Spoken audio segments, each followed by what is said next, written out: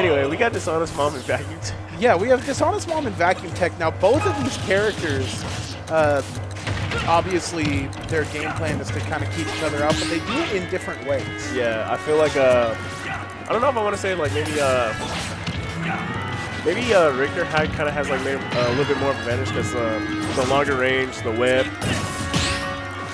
and, you know, like, all the, the fires, I kind of, like, just destroy pellets. And I don't know how uh, um, Holy Water does against a Flame Shield.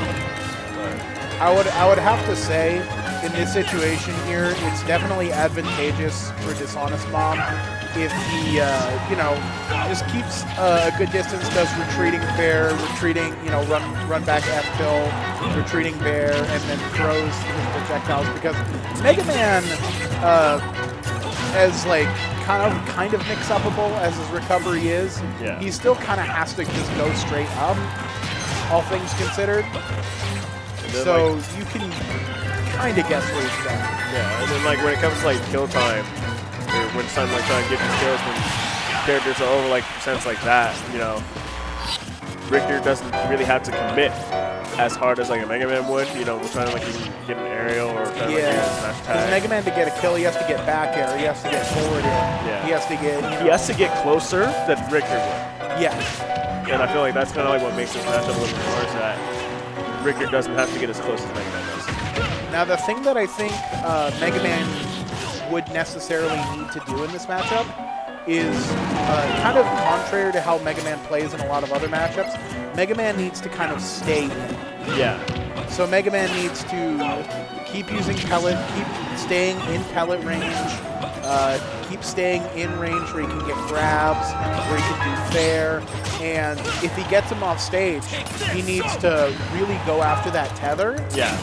Because if he can knock him away from the tether, that's also out of up range, and that's you know a dead dome on him. Exactly.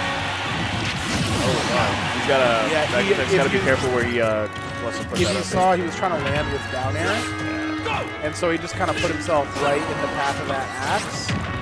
But okay, he landed and uh, got an up tilt out. So he got a kill, but being perfectly honest, I don't know if you can replicate that situation on every shot. Oh, holy water, F smash. Yeah. You gotta watch what you're doing off the ledge. Because a lot of the times you get kind of caught up in it and you're like, I gotta get off this ledge right now because I gotta go hit the man. Yeah, exactly.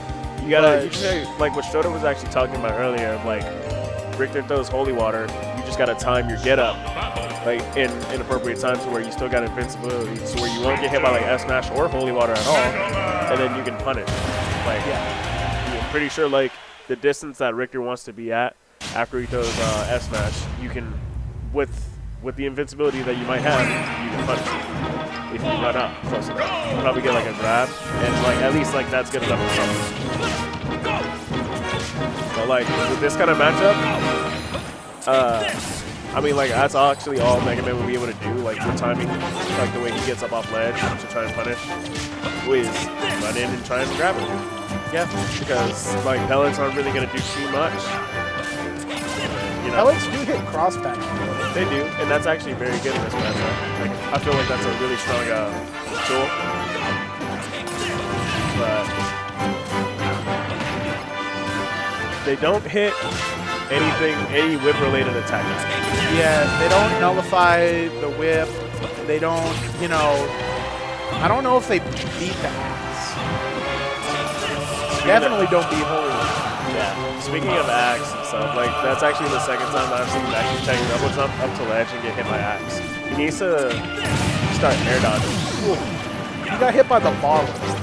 So he was at a close enough range where he got hit by the bottle and then it broke with the holy water. Yeah. At times like that, you gotta be aware to where you can probably just grab the ball. Uh, well, I mean, at times like that, I mean, there's just kind of unfortunate. Ooh. Yeah, charging a forward smash at the ledge, as tempting as it is sometimes, Especially like at the distance that he was at, where he was kind of just in like get up attack distance. yeah, you have to remember get up attack is invincible. Yeah. Like all the way. Completely. Every single one of them in the game. Oh, he had no jump on that too because he tried to jump out and he got hit by the holy water and then the forward smash. Uh-oh.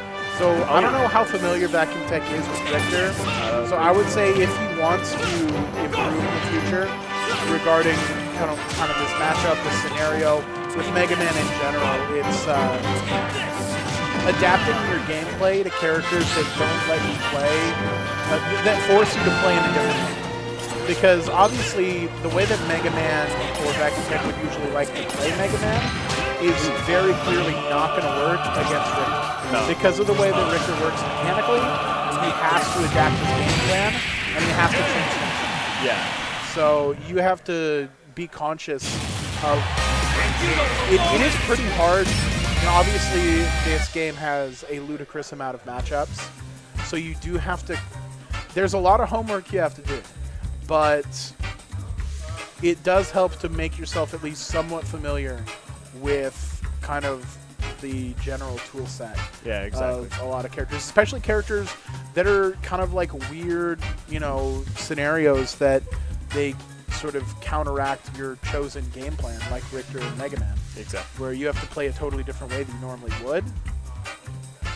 You have to kind of make yourself aware of those specific scenarios and adapt to overcome. Or you pick a different character. That option is always available to you. And it's weird because like Vacuum Tech actually, when we just got finished playing, he didn't he did not play Mega Man on me. He Okay. actually played Young Link and Roy.